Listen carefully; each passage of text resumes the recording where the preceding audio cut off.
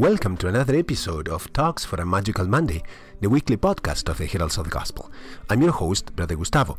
For those who are not familiar with the Heralds, the Heralds of the Gospel are a community active in the Catholic Archdiocese of Toronto, as well as several other cities across Canada.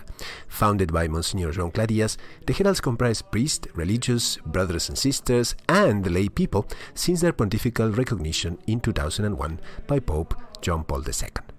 And for those who are familiar with the Heralds, this podcast features the talks following the Herald's weekly rosary at St. Patrick's Parish in Schomberg, Ontario, where the brothers share some consoling and encouraging thoughts precisely geared to those dreaded beginnings of a probably hard week called Mondays. If you want to know more about the origin of the podcast, please stop right here. Go back and listen to episode number one. So even if today it's not Monday, but you're still commuting or doing chores, take heart brighten your perspectives and enjoy today's talk recorded at the Heralds of the Gospel House in Schomberg. The topic The Origin of the World's Disasters, Part 1 The Great Fall, with Brother Justin Bonian. Welcome then to Talks for a Magical Monday, the weekly podcast of the Heralds of the Gospel.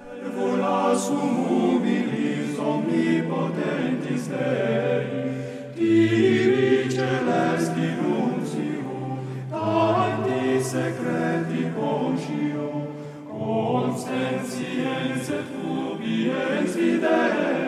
facum quod audio, parata sum parere, Dei consilio. Well, welcome to another episode of Magical Mondays. And unfortunately, we're not in the Church of St. Patrick's after we've prayed our rosary. But today you find us, or find me at least, in the community house of the Heralds of the Gospel found in Schomberg, Ontario. Today, I'm going to be speaking about a subject which is a little bit different than the current uh, line that Brother Gustavo has been uh, following, but to give it a little bit of diversity and and what have you, I just wanted to. Uh, change is good, mostly in these days of quarantine. This weekend, we were doing uh, catecheses via Zoom. And um, with my group, we were exploring something which is fascinating and I wished in the few minutes we have today to begin to look at it. When we look at the great fall of Adam and Eve, the great sin, the original sin, sometimes we don't put it in its proper location, in its proper place. And we tend to look at the sin of Adam and Eve as a one off or the beginning of bad news, the beginning of the flawed humanity that we all share in.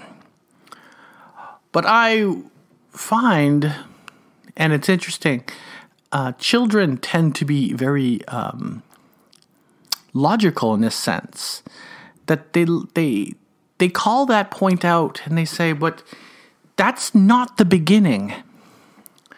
Remember our Lord Jesus Christ when he's looking at the question of divorce with the um, with the Pharisees when they and the Sadducees, and they're setting him up to uh, possibly make a mistake, as they so believe, and which they find out very quickly that um, the Divine Master has spun around and thrown them into the mud in the most spectacular manner. And I'm talking about the story of the woman with the seven brotherly uh, husbands, each one dying, and the obligation to raise up children. Therefore, she marries each one of the, uh, the sons, and whom would be her husband for eternity. And our Lord uh, talks about marriage, and he says very succinctly, and this is something that John Paul II talks about in his theology of the body also, that our Lord is very quick to say the problem is in the beginning. So the reason for us to study the Gospels is awesome. It's the word of life, etc., etc. The good news. But we also have, have to have a good knowledge of our Old Testament, and particularly the books of the Old Testament, and particularly the beginning of Genesis. Because Genesis gives us where everything went wrong. And when everything goes wrong, it's good to peel it open. But what's fascinating is that the cookie crumbs to figure out where everything went wrong is found throughout the Gospels, without the Bible. Uh, the book of Jude is found in Exodus. It's found, but in a special way, it's found in Revelations, the last book of the Bible. That's why it's comprehensive. That's why it's important. We take a great look. And it's the fall of the angels. And when we look at the fall of the angels, this gives us a peek into the real problem of the fall. So let's start from there, and then the that will give us the necessary ground to set ourselves up to understand better what happened to Adam and Eve. The choirs of angels are are fascinating, and I hope that another episode will get into the actual nitty gritty of angels. Um, and to get into the whole thing, well, that's a that's something else. But just to give ourselves a good idea, look at the choirs of the angels as traditionally explained by uh, Saint Thomas Aquinas. One of the first points to look at it is that the angels were made with the purpose to govern. The word angel means messenger. Okay, so they're made to govern, and they're messengers of God. And what's interesting you know the Martha and Mary uh, dilemma that you see within the Gospels is that the higher they are, the stronger, the more powerful they are, but actually the less practical responsibilities they have. The more practical responsibilities fall towards the lower choirs of angels that's one point that's really fascinating. So we have the two highest, which are the cherubim and the seraphim. Lucifer was the highest of the highest choir of angels. So he was top. He was the perfection of God, you may say, in an angelic form. But God wanted to test, he wanted to see with all of these gifts, were these creatures of His willing and able to love Him? Were they able to use their amazing intellect? What's interesting about angelic intellect is that angelic intellect doesn't go through the thought processes that we do. You know, the to and fro, the questioning and counter question and doubts and all those fantastic things. And because angels don't have it, their intelligence is more like illumination. It's like they step and they know exactly what that purpose is. They know exactly what the consequences would be, also. They've weighed and measured a decision. Unlike us humans who tend to falter and because we are composite beings, that is, made up of a spiritual soul but a material body, we are in conflict, which works out for our advantage in the sense that we are able to ask for forgiveness, we're able to turn back. Now, according to much of tradition, God reveals that he's going to be incarnate the second person of the Holy Trinity is going to be incarnate into humanity. Now, Lucifer, carrier of light, don't forget, light is one of the symbols of God, has an attack of something which I think all of us could uh, very much understand.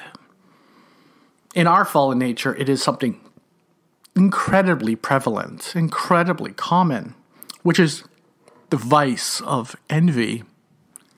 And with envy came its cascading evil results.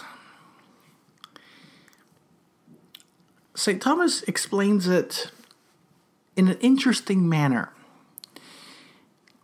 And he says that their way of looking at the reality that was being presented to them was something rather interesting. One was called a vespertine, and the other one was called a matutine vision of creation. So God reveals to them the plan of creation, all that God had in mind for his creation. Maybe say plan A. Lucifer will come to a point where he, he looks at it and he says, if God has this need to incarnate, take on another nature, the best receptacle is myself because I am so awesome. You see where the problem is. And when he learns about what humans are going to be and that they're going to have a spiritual, rational souls but animal bodies. That why not me becomes more of a problem. Now, these two visions, we all we all have these same same issues. When we envy our neighbor when they receive graces or when they receive material goods. And we ask that famous quote, Why not me? We're echoing Lucifer's beginning of his rejection of God. So, what are these two ways? Well, in their discovery of God's creation, they left from knowing themselves, knowing nature, but in the vespertine or the darkening manner, they kind of do it in reverse. They kind of look towards God and then come away from God and look towards his creation, his planned creation, or his already made creation, or her, eh, and then ended with themselves. So the end of man is to know, love, and serve God, our Creator, and be happy with Him and in heaven for eternity. But those that were taken by this envy, this comparison, this evil worm, which they did not push away from themselves, began to say, God isn't that special. God isn't that great. And what is God demanding? Well, He's demanding love. In love comes service. Where there's no service, there is no love. And that's why Lucifer's cry of revolt, I will not serve, underlines this element of an absence of love. What is God? God is love. So we see that the very element is confused. We see that it's already broken. And since I already said, angels in their in their superior intellect, their illumination, they know where this road brings.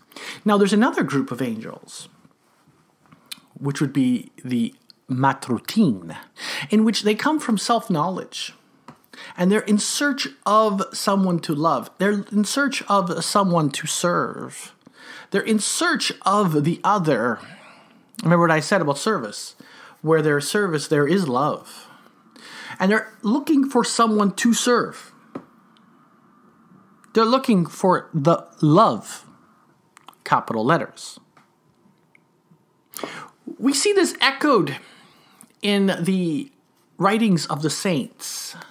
We see this written in a very beautiful manner by Augustine in his Confessions we see this in the conversion story of, of, of any multitude of saints.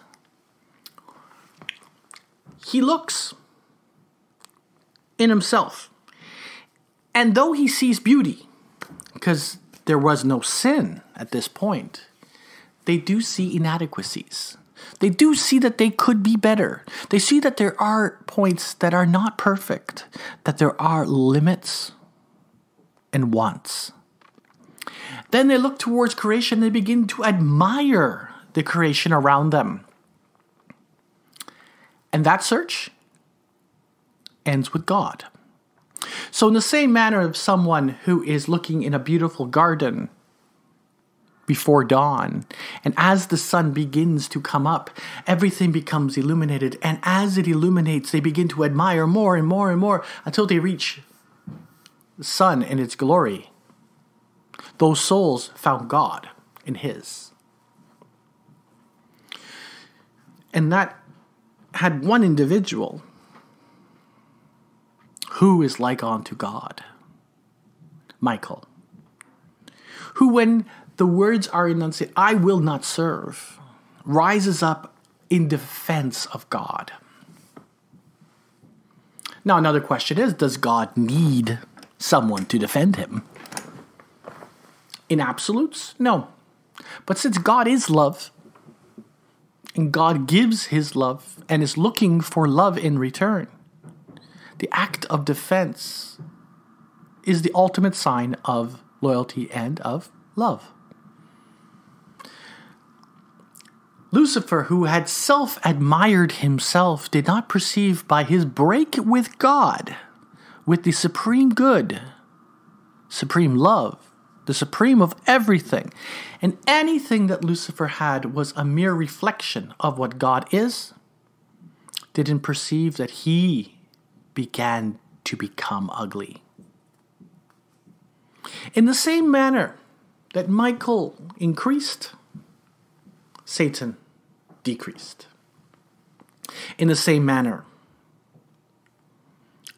that Michael charges towards the greatest of the angels, Lucifer descends to his new home hell. One third of the angels followed Lucifer. One third failed their test. Two thirds passed.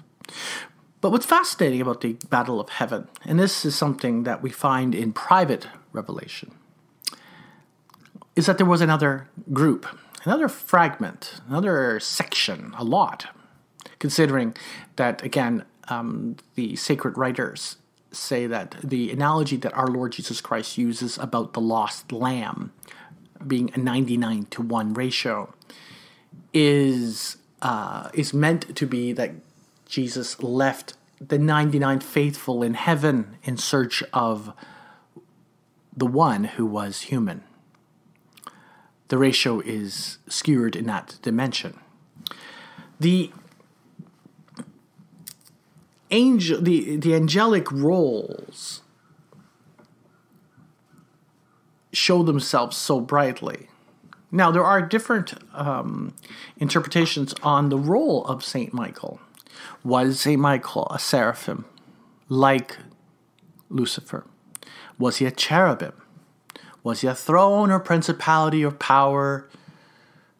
Was the term archangel meant he was the above all angels? Or was he a member of the second lowest choir of angels, the archangels? We do not know for certain. But in this analogy, in this image that I've that I've described, the one in which he is the second lowest choir, filled with admiration and grows with his love to take the spot of Lucifer fits better. Lucifer is cast into hell. Now, if you ever known anyone who was envious in your life, it doesn't tend to be a passing fancy. It doesn't happen that it goes away easily. It takes a lot of spiritual combat, it takes a lot of effort, it takes a lot of difficulty. It's a lifetime at work.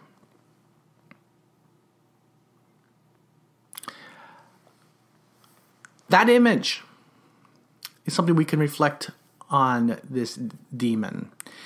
What had happened was that he had made a decision and he will not change because he knew what the consequences were.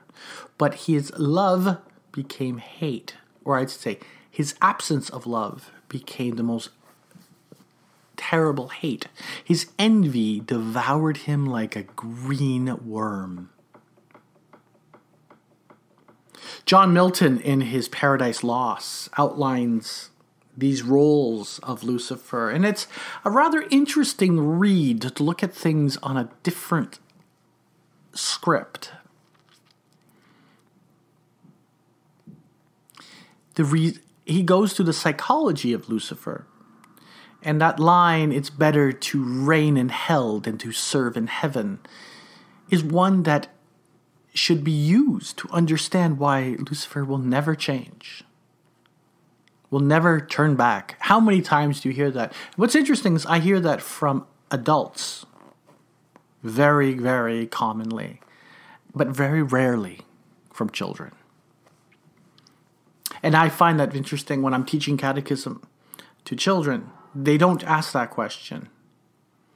But when I move to teens and adults, that question comes up much more often.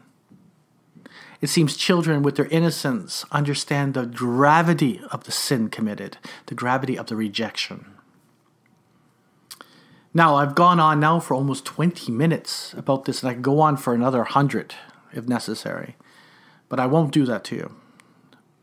But we want to look at this very key point, which is the great enemy of mankind is Satan, is Lucifer. He was envious at the beginning, and he doesn't cease to be. But what does he want to destroy? He wants to destroy that most precious gift that gives humans the dignity in which we all share, which is being images of God. So I'm going to stop us now. And next week, I'm going to do a part two in which we're going to drag out the story from the angels, but move us into move us into the great fall and to see how much sadness the choice of self over God brings. May God bless you all, and let's finish with a prayer. In the name of the Father, and of the Son, and of the Holy Spirit, amen. Hail Mary, full of grace, the Lord is with thee. Blessed art thou amongst women, and blessed is the fruit of thy womb, Jesus. Holy Mary, Mother of God, pray for us sinners, now and at the hour of our death. Amen. Saint Joseph, terror of demons, pray for us. Salve Maria.